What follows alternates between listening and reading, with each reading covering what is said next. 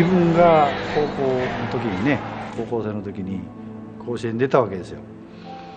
その時の感動がね忘れられないんですよね。入場行進足が震えるんですよ。でなんとか甲子園に行きたい。でそのためにはもう指導者になるのが近道やっていうことでね。甲子園に、ね、優勝して出場が決まって自分の育てたチームがバーッとこう出てくるわけですよね。入場行進で。もうそれだけでも十分ですよね。もうね見てられへんですよ。もう涙が出てきて。それぐらいやっぱ感動しますよね。それがあるからやめられんんですよね。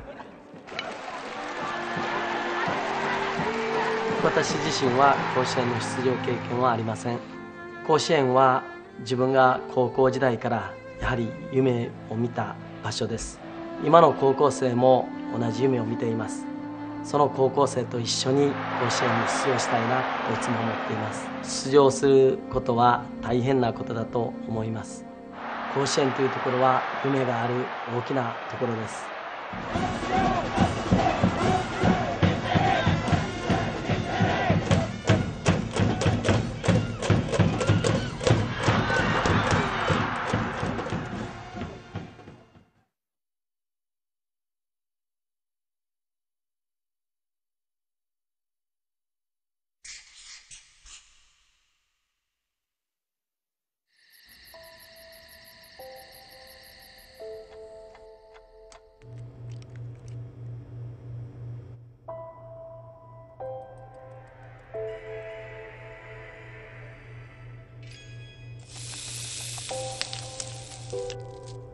うん。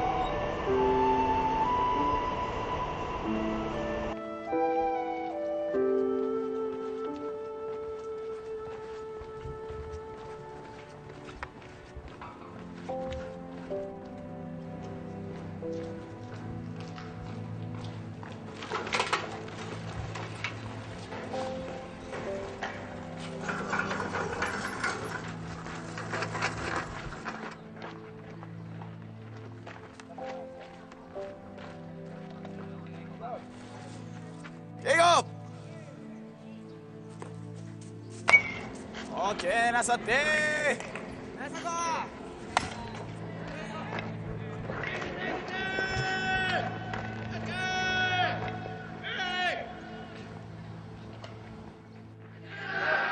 はいおはよう。はい頑張ろう。高校野球はまさに教育の一環として指導しています。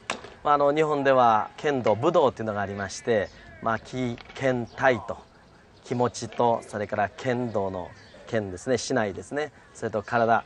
その技と体力を生かすためにはやはり心が必要ですと。で高校野球はその心をやはり育てるためのものだと私は思っています。そして指導者から与えられてするものではなくやはり自分が好きなものを自分から求めてそして自分たちで話し合って練習内容を決めるいやいいよいいよいいよ。さっきちょっとこう入った。こうならいいよこういったら今の。ええ感じええ感じまあ先生はあの朝早くから夜遅くまでほんまに野球部のために尽くしてくれてなんかすごく感謝しているっていうかすごいいい先生と思います。もし天王寺高校が甲子園に出場できましたらやはり同じように学業と野球を両立している公立高校にとって大きな希望を与えると思います。時間がなくとも施設がなくとも甲子園に出場できる可能性はあると思います。だから夢があるんです。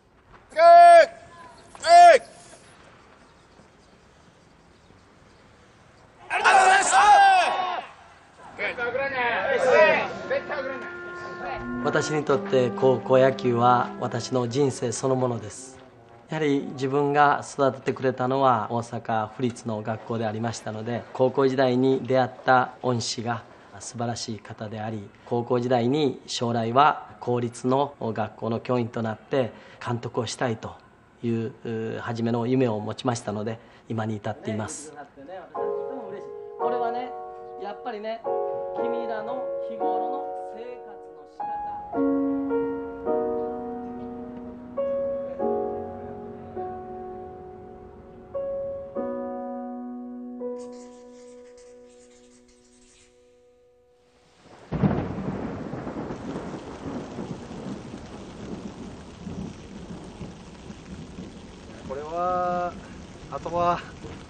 負っていうのは分からんのですよね。やってみらんと。でその勝負で勝つためにはここです。ハート。昔で言えば根性。精神力です。よそと同じことしてません。よその3倍4倍やらないとね。勝てません。これで試合負けたら監督が悪いんですよ。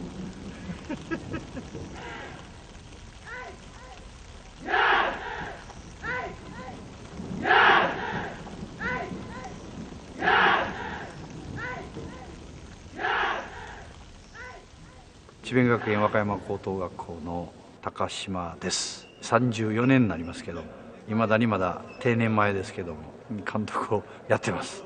やめさせてくれないっていうのが本音なんですけども。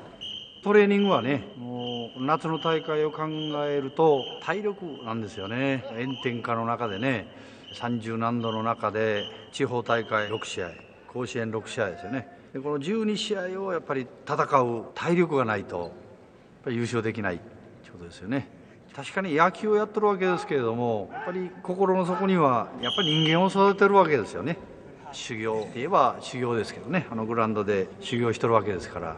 苦しむほどやっぱり勝った時の喜びっていうのは大きいと思うんですよね。だから技術はやっぱ二の次でやっぱり体力とハートでしょうね。高校生の場合は。大げさに言えばもう人生そのものですね、えーこれ抜きではもう考えられない、そういう魔力を持ったのが野球でしょ。う アメリカからやってきた野球ですよ。ベースボールですよ。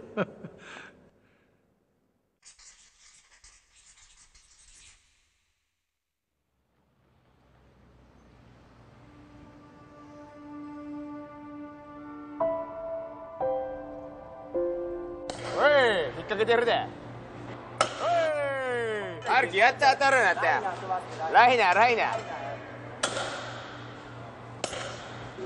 やっぱりあの激戦区でもあるし公立高校が私学を破っを破って甲子園に出るっていうのは並大抵の努力じゃできることじゃないと思うんでやっぱり頂点に立てるってことはそんだけ自分らの努力が実を結んだってことになるからほんまに言い言い表されへんぐらい嬉しいと思います。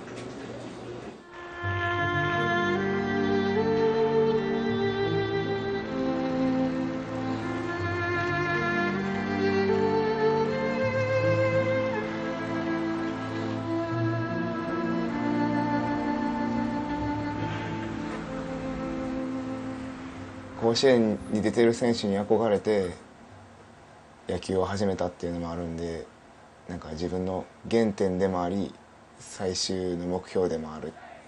夏の大会が始まったらみんな絶対にどのチームで野球してる人たちもやっぱり目標は甲子園って思うと思うんです。チームをどうやって絶対勝たなあかんっていうムードに持っていくかっていうのはキャプテンの仕事やと思うんでそこはやっぱり責任感じて。ます負けたらもうやっぱりその時点で次の世代に交代このメンバーとはやっぱもっとずっと一緒にいつまででもいいんで練習してたいっていう気持ちがあります。当たって砕けろっていう感じでやりたいですね。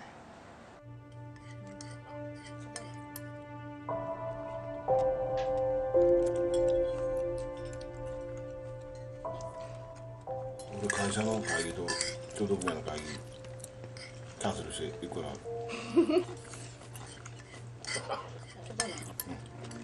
明日も入れんですか、うん、入れんです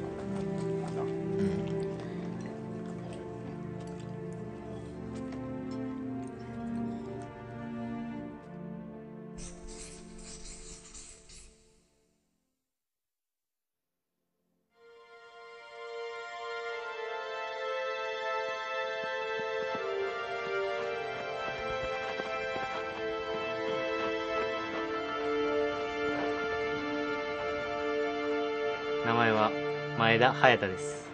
17歳で智弁和歌山2年生です。将来の夢はプロ野球選手です。入る前はやっぱ厳しいって聞いてたんで甲子園行くんだったら、まあ、乗り越えないとしょうがないかなと思いまし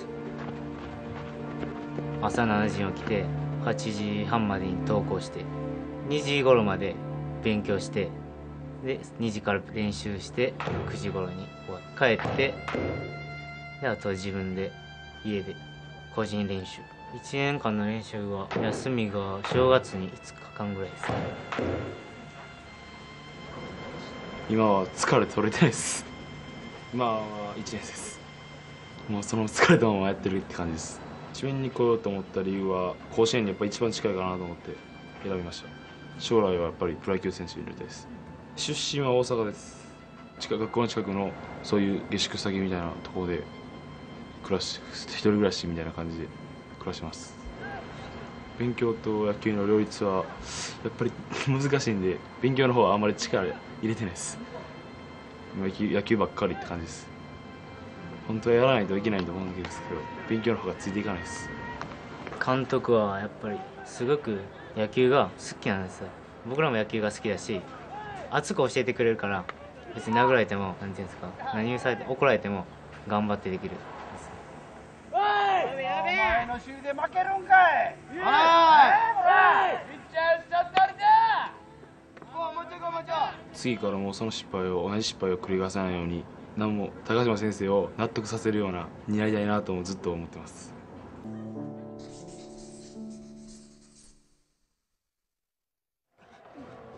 あ春木陽一です、えーっと学年は3年でポジションはライトを守ってます。18人ベンチに入れるんですけど、まあ、それの背番号を渡す日なんですよ。まあ選ばれなかったとしてもやっぱり、一緒に3年間やってきた友達なんで、まあ、胸張って応援できるかなと思います。こ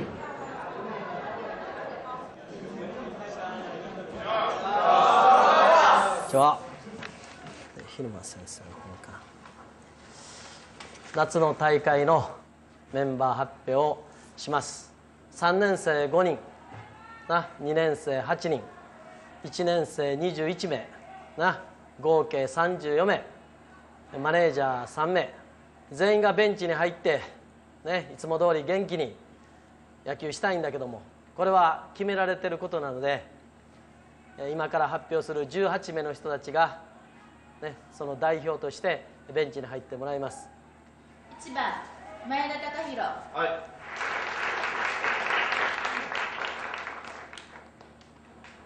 俺が投げて打って走るからみんなついてきてくれ。2番金山雄大。はい。3番田村力。はい。4番角谷洋平。はい3年生がもうこの最後の夏で終わりやっていう気持ちになってんねんから自分らもそういう気持ちになって戦っていくんがチームとして当然のことやと思うからみんなもあとちょっとの時間やけどほんまに3年生と同じ気持ちになって戦っていきましょう。5番村本大輔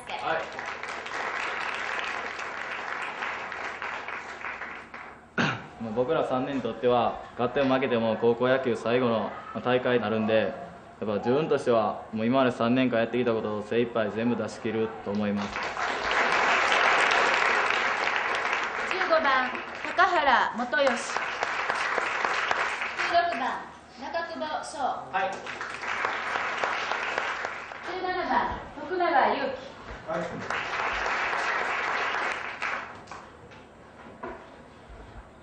18番春木良一。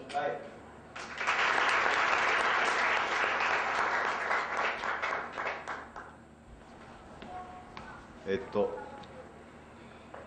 えー高校1年からこの3年間やってきてやっぱり一番結果がいいいい結果が出た時っていうのはやっぱ何も考えんと集中してたからあと夏の大会まで日にちないけどその集中力を一番いい集中力を持っていけるようにしたいしベンチでいる時であっても最高の声で盛り上げていきたいです。よろしくお願いします。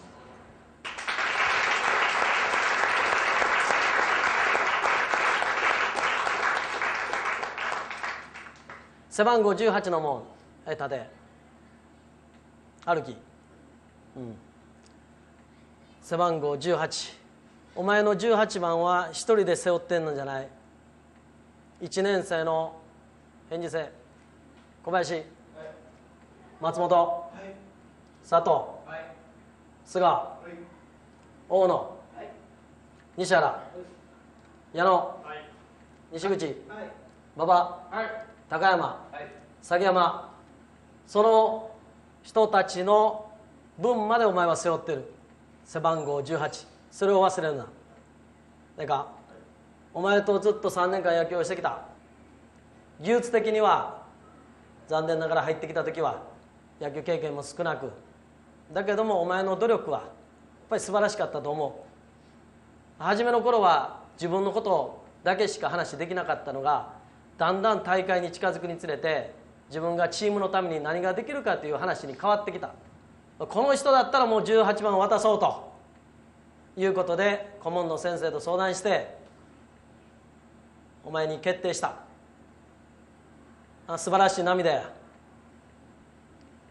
他の学校の18番よりも一番輝いてる18番になってほしい。大会で頑張ってほしい。春樹、ええか？はい。高校野球はスポーツだけども先生は武道に近いというふうに思っている。武道というのは相手の弱いところを責めない。それよりも自分が持てる力をいかに発揮するか。それをまず念頭に置いてる。敵は相手じゃない。敵は自分。自分たちの力を信じてそしていいものを発揮する。おのずと結果がついてくる。一つになって思いっきり夏の大会は天王寺野球をしよう。分かったか？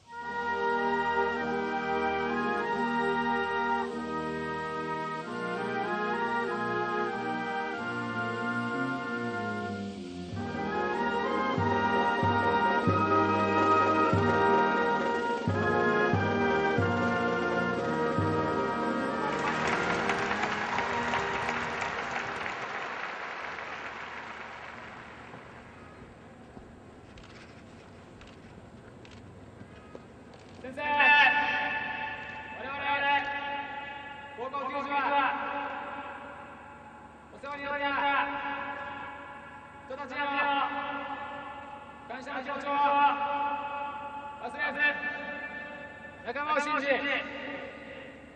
を信じ自分たちの道が続く限り一球一打に全てをかけることを誓います。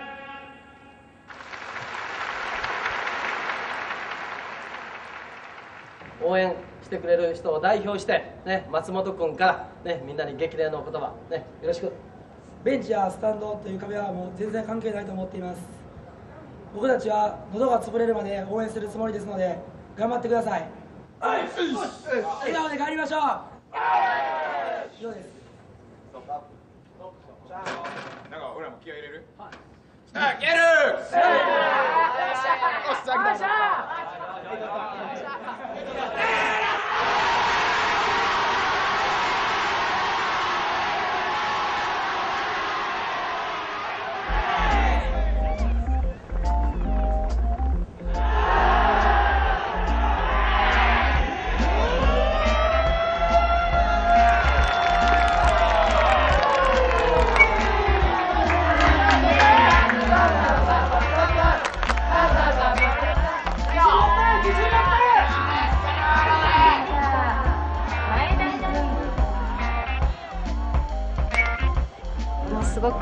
感じで進んでます。ピッチャーの前田君も今日はフォアボールもほとんどなくてとてもいい感じだと思います。守りでエラーとかミスが出ないように最後まで気を引き締めてほしいって思ってます。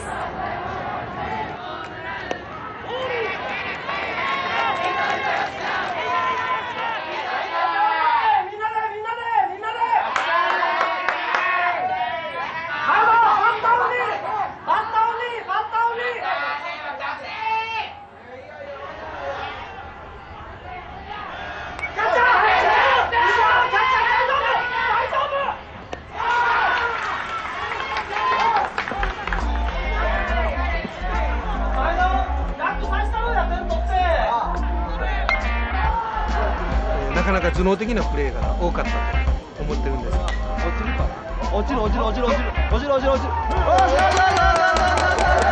今はもう天候がもうものすごく有利に進めております試合をこのままの調子でいってもたらもう今日は楽しくて仕方ないです酔っ払ってるみたいなバッター坂口君に代わりまして春樹君大丈夫大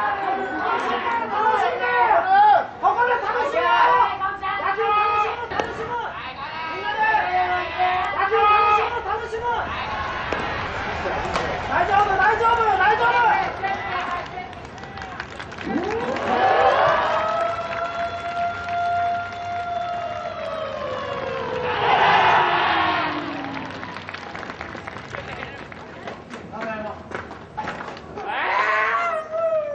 そんな嬉しいことこれが天皇に行くよ頑張ろうだよあ手痛いのによう頑張ったなありがとうございます。春樹18番どうも勝つぞあよう頑張ったな。よう耐えた。そんなとこな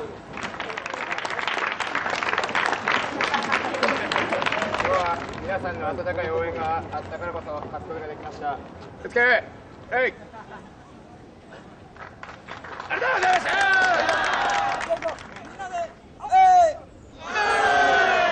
もうちょい行こうはい行こうはい行こうええよみんなええ声やあいこう行こうでえいおーオッケー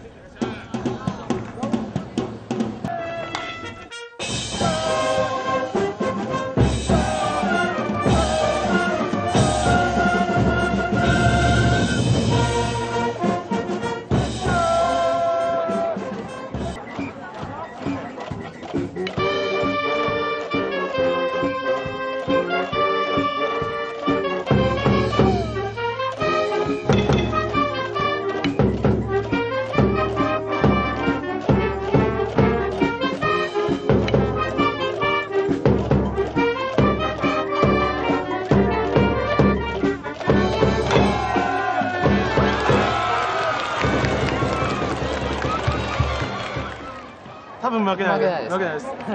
甲子園優勝します。暑さに負けないぐらい面白い試合をしてくれるんで暑さとかまり感じないです。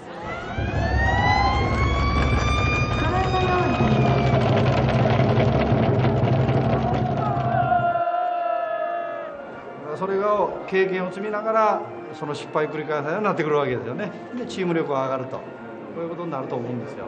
まあ全部うまいこと言ったらまた甲子園で優勝せなあかんじゃない。うちに秘めたる投資ですよ。これから出てきますよ。練習通りです。サトシ。ヒースホームランバッター。ホームラン打ちましょう楽しんでこいよ1日ボールに集中ボール。に集中バッタ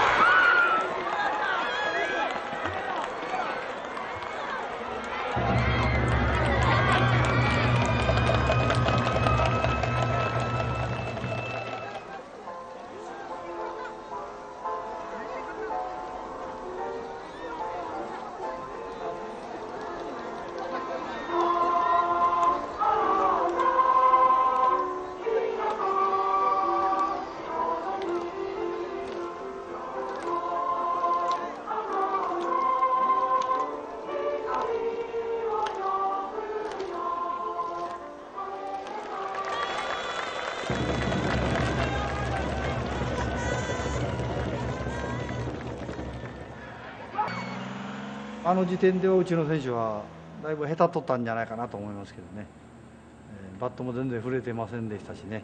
まあ実力もなかったやろうし努力もな足らんかったやろうしいうことになるとやっぱり負けたら監督が悪いんですけどね。監督のやり方が悪かったっていうことですよ。最終的にはね。選手は悪ないんですけどね。勝ち続けるっていうのもまたこれは無理ですからね。いずれは負けるんですから。晩とかにも友達がいつもメールを送って明日頑張るよっていうふうに言ってくれて僕らだけで戦ってるんじゃなくて学校の期待みんなを背負って戦ってるんやなっていうことをすごい感じます。ここ2年ずっとこの3回戦で、まあ、負けてて、まあ、今日はその先輩たちの気持ちを受けてここで3回戦突破したいなと思ってます、まあ、一つの区切りみたいな勝負になるかなと思ってます。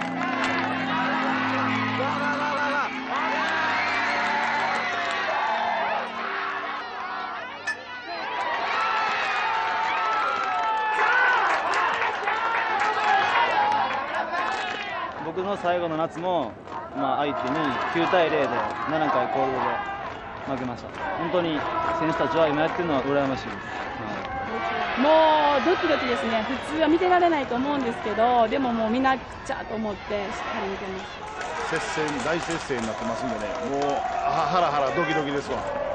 今日はちょっとうちの息子のピッチがちょっといつもより調子が悪くてね、バッティングの方もちょっと不調やし、大変心配です。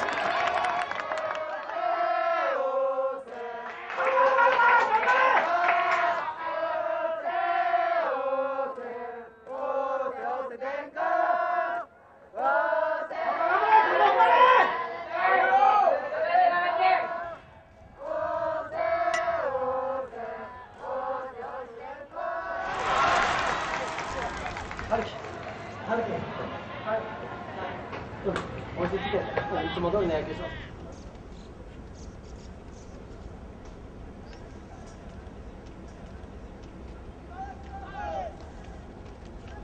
中間ちょっと後ろ。中間中間。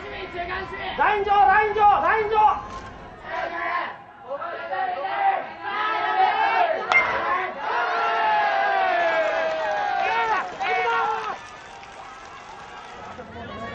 アウトコースあれをじゃそのとこに持ってけまだったらいけろよいくよこれから踏ん張ろうこ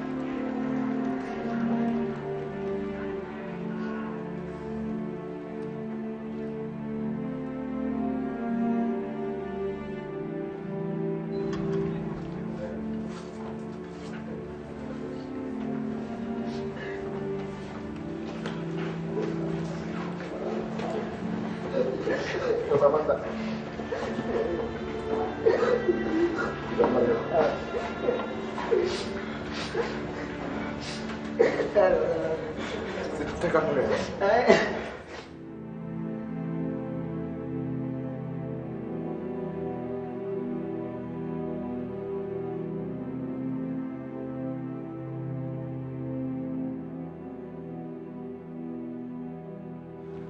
で今日も温かい応援ありがとうございました。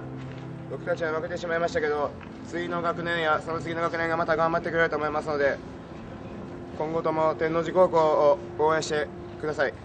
ありがとうございました。気をつけえい。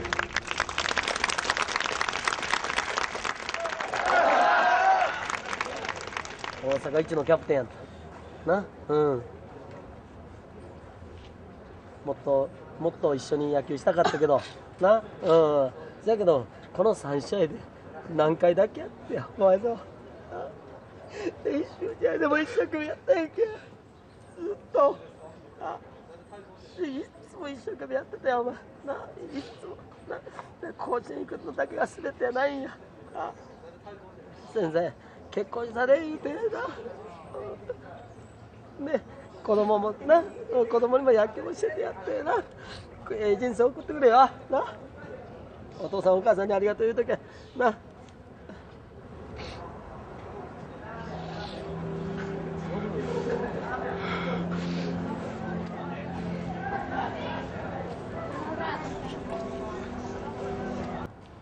えっとね、えー、3年生ね、えー、立派にな成長しました。でこれもねお父さんお母さんねそして OB の皆さんな。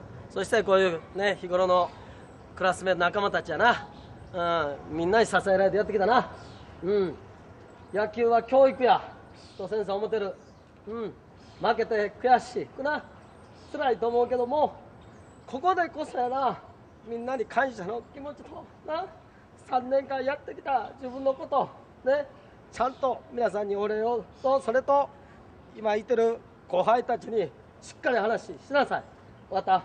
うん。春樹お前大阪で一番素晴らしい18枚やった。な？うん輝いてた。な？一歩前出て大きな声で。今日は応援ありがとうございました。これからは僕たち3年は引退して、まあ、それぞれの道に向かうと思うけど僕たちのチームはいつも心は一つでこれからも一緒に気持ちは一つで頑張っていきましょう。長い間ありがとうございました。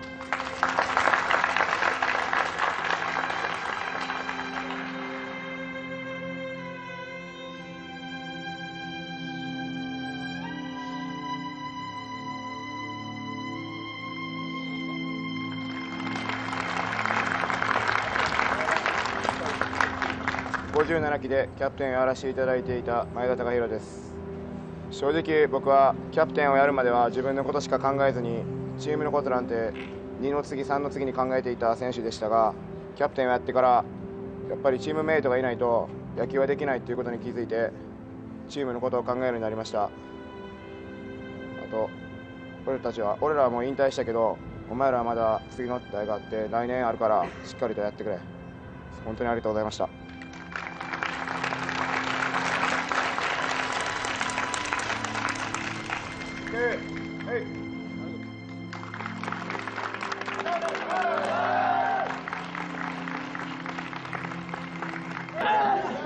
5人本当によく頑張ってくれました。とても感動しました、まあ、彼らは一生懸命、えー自分の力を出してくれたと思いますがやはり指導者としてはもっともっと力を出してあげることができたんじゃないかなと。彼らはきっと将来社会人として日本を背負っていく立派な人になっていってくれると信じています。やっぱり負けるっていうことは努力が足りないんですよ。甲子園に出たかったら頑張りなさい。各都道府県の代表校が甲子園に出場できた喜びを胸に全力を尽くしてプレーをしている姿を見てやはり羨ましく思いました。ましてや決勝まで行ったらもう満員ですからね。これも全国で2校だけなんですよ。できるのはね。